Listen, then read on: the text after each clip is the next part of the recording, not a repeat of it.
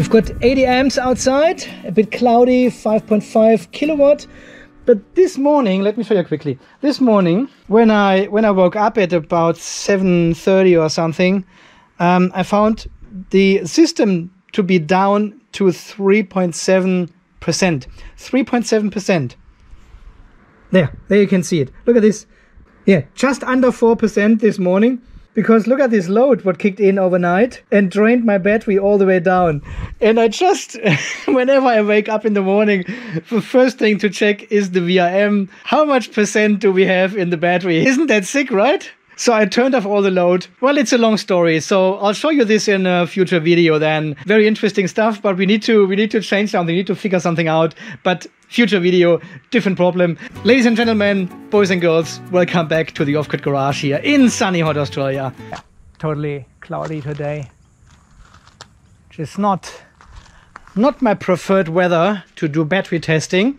But in today's show, in today's episode, we want to talk about for the very last time in all details about this guy. The Seplos BMS. I know, right? But you know, there's still so much to discover. But I can also see people are getting tired now. Me talking about the Seplos BMS and the Victron system and what is working, what is not working, and what weird design. Okay, anyway, in today's video, last time talking about the Seplos BMS, I want to show you the solution I have set up now. And I also want to show you why I won't leave it like this. And many of you have suggested this solution, but today I want to show you why it is not working. And potentially why you should not run this solution at all, maybe. It is a bit of a combination between Victron and Seplos. It's not purely Seplos related, not just an issue of their weird software design and BMS construction. No, the, the problem is also related to the Lynx shunt, which I, which I have um, installed and connected now. Because this is something most people have suggested now. Why don't you use the Lynx shunt and connect the battery to it and let the Victron shunt figure everything out? I'm running this for a week now and it's catastrophic. Okay, let's start from the beginning. Ooh, I made 38 kilowatt hours already today. Nice. But this is not part of the video. Hang on, hang on. SPED Calibration Center. Let's go in there. Okay, so this is our test setup now. And at the moment you can see our MPPTs are under external control. That means the Seplos BMS of the two batteries is controlling our Victron system, fully controlling it. So the solar charge controllers are not using the internal settings anymore, as you have seen in many previous videos about the Seplos BMS. They are solely listening to what the BMS is telling them. So if we go into the Victron remote console and go in the settings, okay, uh, pool fence system, network operation, and here we can see it is a slave. It is externally controlled by the BMS. The charge voltage is 55.2 volts and the charge current is 35 amps at the moment. So what parameters have we set in the BMS? Uh, parameters here. We have set 58.4 volts as the maximum charge voltage for this battery. This would be 3.65 volts per cell times 16, 58.4. So this is the maximum we can charge the battery to before the BMS should disconnect your battery for safety reasons, right? And you can already see the solar charge controller charges only to 55.2 volts, which is uh, 3.45, my absorption voltage.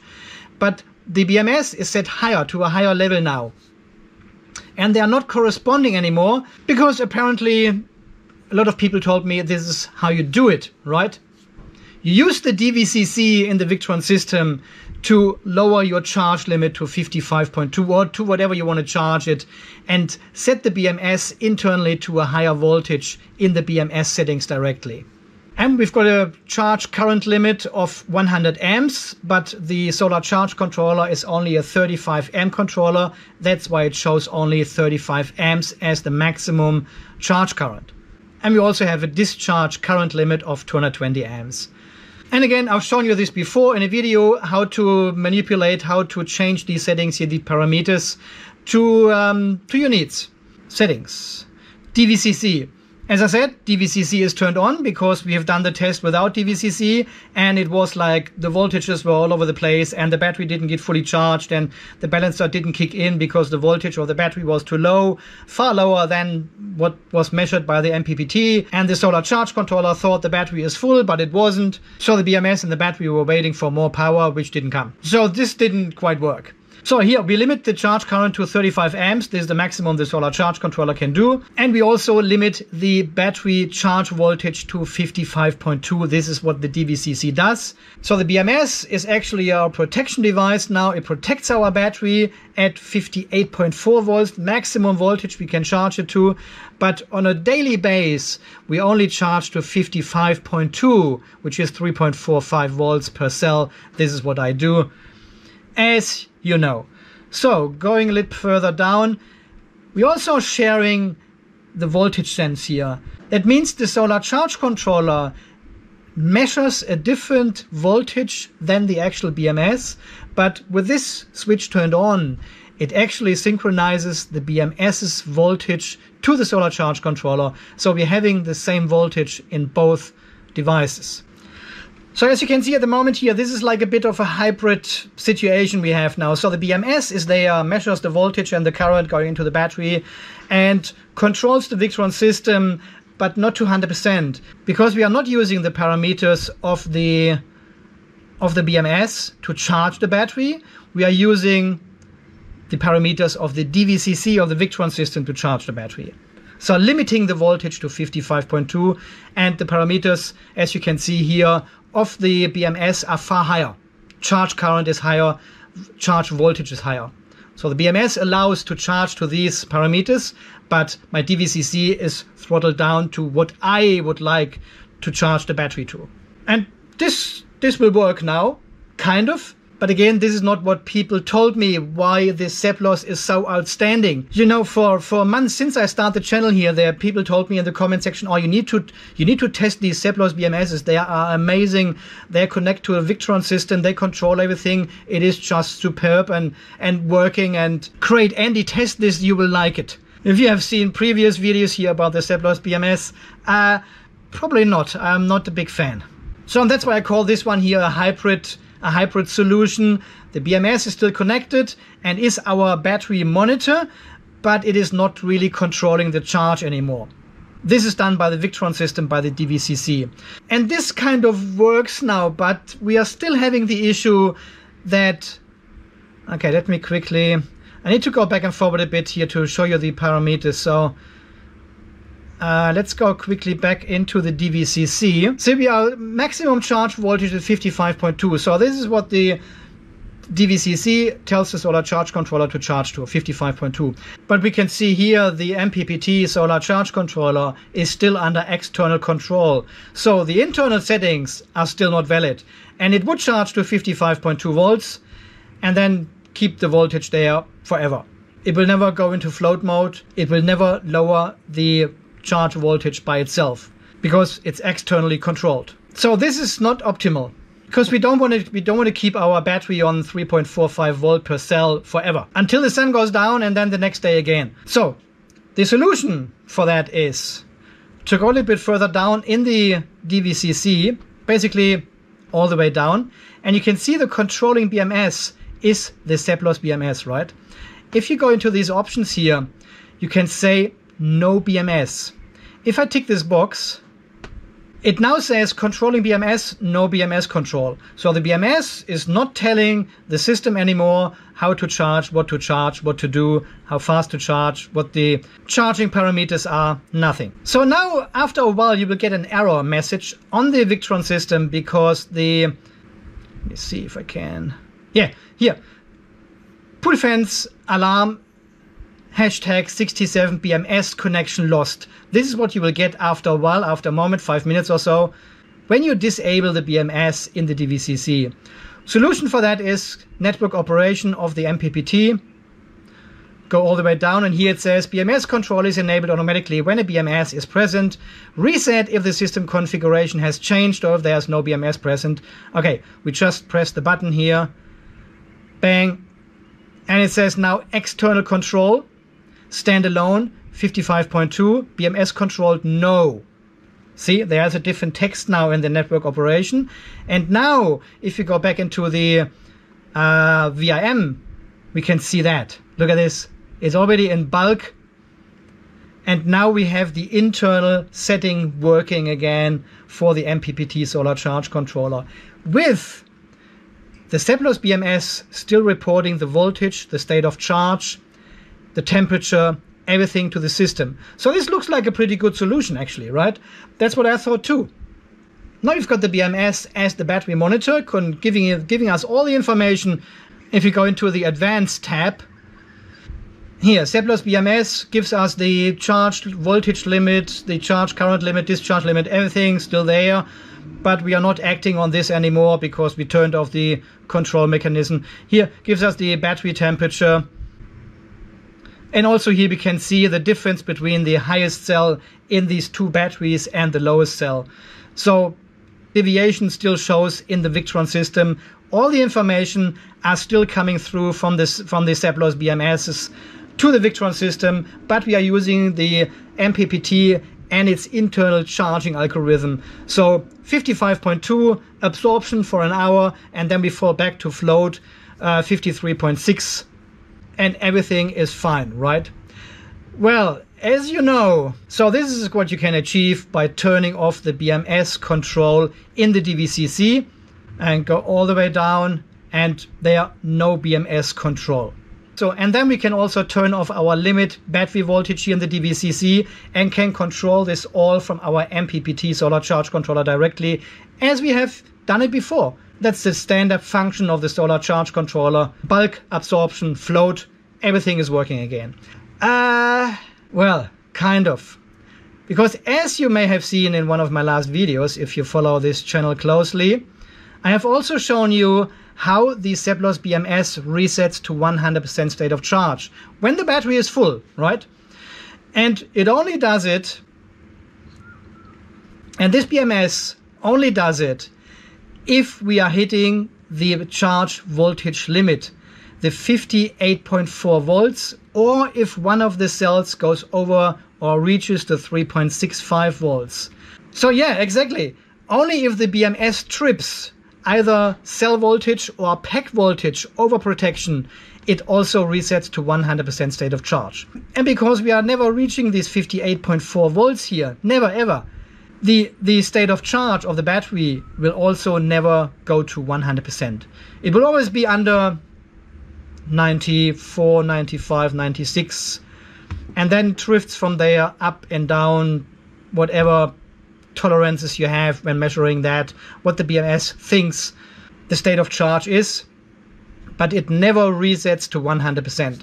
So, well, the number or figure of the state of charge is one of our main criteria here for the battery. This is what we are looking at the first when I open the VRM or open any other device here in the garage. I always look what's the percentage or the state of charge.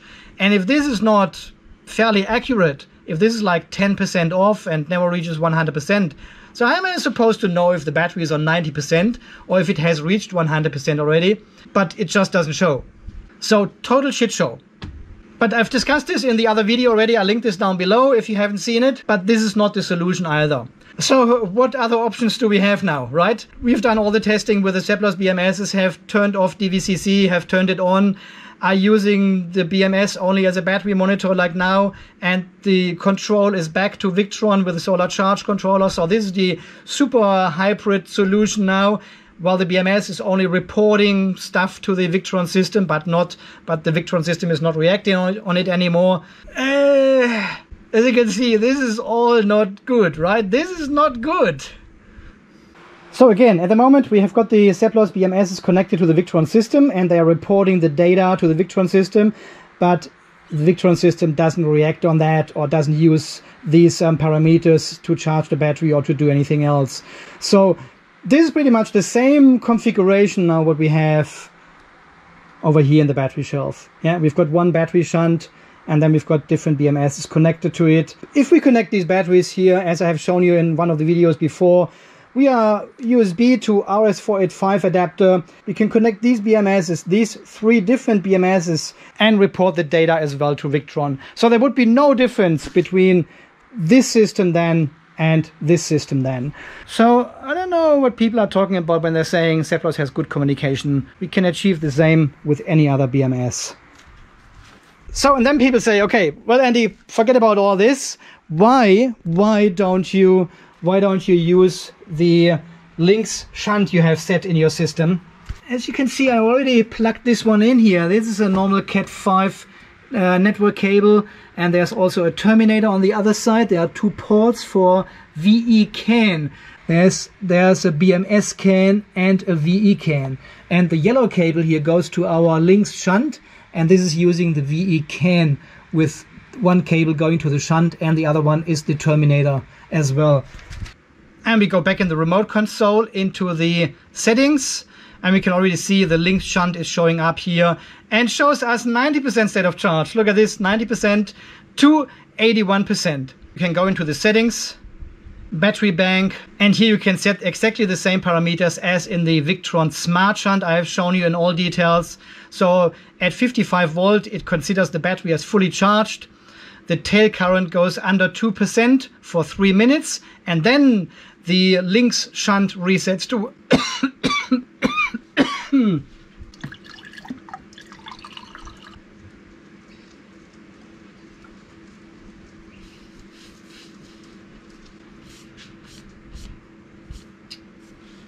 You can set the Peukert Exponent, the charging efficiency factor. These are all the same settings we had in the Smart Shunt as well.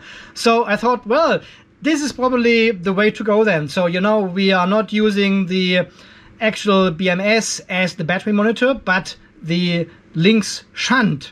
Because it's a Victron device, it should know better how to calculate state of charge.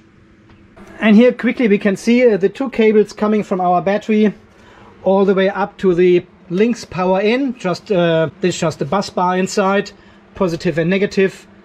This goes through our shunt, measures the amps going into the battery and out of the battery. And here are our solar charge controller and the load our Xia inverter connected and the shunt knows all about the energy going in the battery or out of the battery. That is perfect, right? Okay, so let's go into our settings, go into system setup, and here we have set the Seplos Smart BMS as our battery monitor. But we can change this option and can say, well, this is not our BMS anymore. This is now our proper shunt. So we change this one to shunt and we go back in the VRM. Well, and now the state of charge shows 90% all of a sudden because the smart shunt measures a bit differently than the BMS and I have already calibrated this shunt. So fully charge the battery and then it jumped to 100% state of charge. There, there you can see it. Here, 100% state of charge all the time. Bang. Where does it get the voltage from? Well, it measures the voltage directly in the shunt. But then you have all the connected bus bars, connections, and the cables back to the batteries, and the actual battery voltage might be different. But because we have turned on SVS, the shared voltage sense in the DVCC in Victron, it actually takes the voltages of the Seplos BMS and shares this with the shunt. So that's all good. And you can also see we are still getting the temperature reported to the Lynx shunt from the Seplos BMS. Looking in the advanced tab here, we now can set up the Lynx shunt, whatever the shunt measures. We also can have the Seplos BMS in it, whatever the Seplos BMS measures. It shows us different parameters, different curves. And if we go all the way down, so we still have the minimum and maximum cell voltages shown here in the graph. So here again, another form of the hybrid situation. The BMS still reports the data to Victron, but Victron has its own settings for charging and controlling the battery. So MPPT uses its internal algorithm again. Everything seems to be fine. And I said, yeah, well, with the Seplos BMS and all the communication shit. Ah, I want to show you another feature here. If we go back into the remote console in the DVCC, now go to your system setup where we can set the link shunt as the battery monitor and go all the way down uh, battery measurements here, battery measurements, go in there, and you can see the link shunt and the Seplos BMS. The Seplos BMS is hidden, link shunt is visible. If we set the Seplos BMS as visible and go back into our VRM, there, look at this. Isn't that cool? We've got the Lynx shunt reporting our as our battery monitor, resetting to real 100% state of charge as we have programmed it. Gives us all the perfect parameters, everything. And we also have the ZEP BMS reporting down here as well with voltage, current and power. And another state of charge for these two batteries, of course. And I'm wondering, because see this free space here, if we can have even another BMS showing up in here, and I have this tower sitting here, this other 48 volt battery, but this one has a very similar BMS to the ZEP BMS. So I'm wondering if this can be hooked up via CAN to our system as well and shows up as a second BMS in here. Watch this space. So this all seems pretty good, right? But now we've got the actual perfect solution. We've got a smart shunt installed now and can hook up the batteries to our bus bar, connect this battery to the bus bar and some other batteries are sitting there in the box. And we also have the other Seplos box here still sitting. I know there will be more batteries coming for sure. And we can all connect them to the bus bar here and the Lynx shunt takes care of the state of charge and combines this all together. So this would be the the very similar setup to what we have here, smart shunt up here, and then and then different battery banks with different BMSs down here. Same situation as here, not much difference. Just we are using a bit more information from the BMSs this time. But as, said, but as I said, we can achieve the same with the Heltec, the Overkill, and the JK BMS using RS485 and reporting all this information back to Victron. Yeah, and uh, two days ago I got this all running like this, and it showed all up, and and I was pretty happy with the result. And then I um, I realized. Let me show you here. Uh, was it this here? Here, here you can see it. This was around at around noontime when I switched to the Lynx shunt and had the Seplos BMS only down here as a reporting BMS. But I could not see any consumption anymore of my air conditioner showing up in the VRM here. And even it showed up here as DC power 1.8, 1.9 kilowatts for the air conditioning. It didn't calculate anything in the consumption field down here. And I didn't know what that was. I looked through all the settings and did all the testing back and forward, back and forward, and couldn't figure it out. So started Googling, had a look in the forums, and absolutely people had the same issue with the Lynx shunt. The Victron Lynx shunt is not able to capture your DC power. It will work fine if you have AC loads like a Victron Multiplus or any other inverter, but if you have DC power running, it will not be captured by the Lynx shunt. Yeah, exactly. And the same as other people said in this uh, thread as well, well, this all worked just fine with the battery monitor, with the Victron battery monitor, the BMV or what is it called, or the Victron Smart what we have installed in our battery shelf. Here, off-grid garage. Here, see this DC power? This gets converted into kilowatt hours, and this all adds up as consumption and shows here as these red bars in the graph. So not only pure AC power, but also DC power. These all are kilowatt hours of our consumption. Apparently this is not working with the Lynx shunt. Well, there's something else I want to show you. It actually it actually doesn't show any figures behind the decimal point. So it only shows your full numbers as your percentage of state of charge. 90, 91, 92, but not 90.1 as the Smart Shunt does 70.9. But the Lynx Shunt, only full numbers. The same as the Seplos BMS. Weirdly enough, if you hover your mouse over the graph down here, it actually gives you the percentage. So, but it doesn't show the percentage here as the number. So this is just a software glitch or upgrade necessary in the Victron VRM software to show this correctly but at the moment it shows only full numbers. And I'm really questioning the benefit of having a Lynx shunt.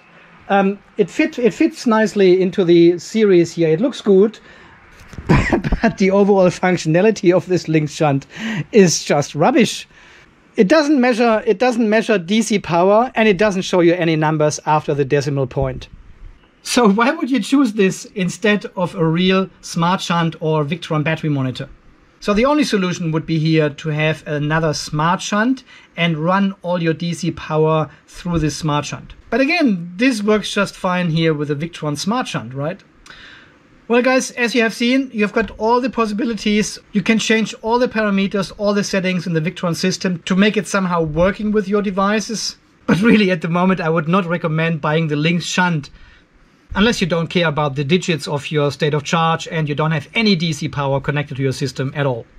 Okay, guys, I think that is it in terms of the Seplos saga of the Seplos BMS. I I was I was hoping this is the BMS we are all after. It has some great features.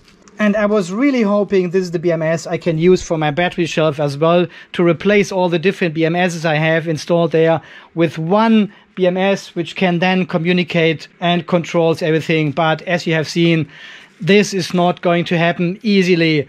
You, know, you can you can use the BMS as many people as most of the people do as just a normal BMS protection board and leave the control with a Victron system. But again, this is not the intention of a smart BMS. A smart BMS fully controls the charging and discharging process of your system.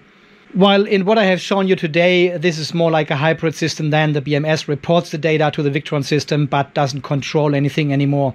And it's only a protection board. So in theory, you can also replace this one here with a JK BMS and you would be you would be in the same situation then. And the only other benefit you would gain is a 2 amp active balancer with a JK BMS. And I really had big hopes with this BMS here because we can upgrade it with new firmware easily. We can just download it from the Seplos website and upgrade it. It gives us new features, fixes old bugs, and overall keeps the whole software and functionality up to date. Um, but again, here for the 10 for the 10C for the older BMS, we have seen I think two uh, software updates so far. Seplos is holding back a bit with these software updates and also doesn't provide a change log. So you never know exactly what it actually breaks and what new functionality you will get. And you are dependent on people on, on YouTube and the internet to find out what actually has changed. And I was trying to discuss a lot of these details with Seplos, with the technician over there, having separate parameters, for example, which resets the BMS to 100%, or not using an overvoltage protection setting as the maximum charge voltage. But these are all things they don't quite seem to understand why they should change that because it's working as it is now.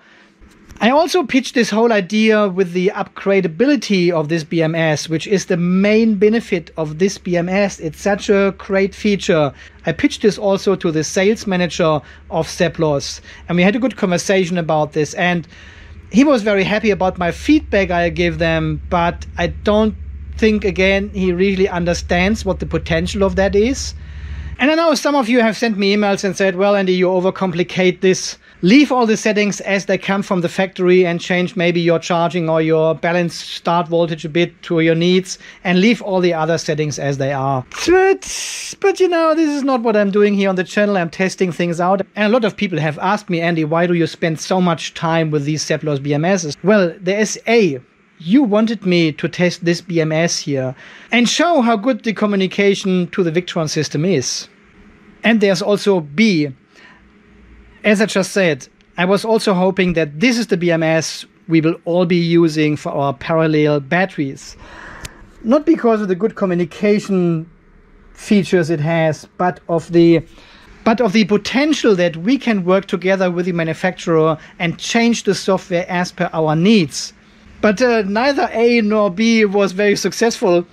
So I had a look around on the market, what is actually available uh, similar to these BMSs with communication ports, which connect, which can then connect to Victron and many, many other systems.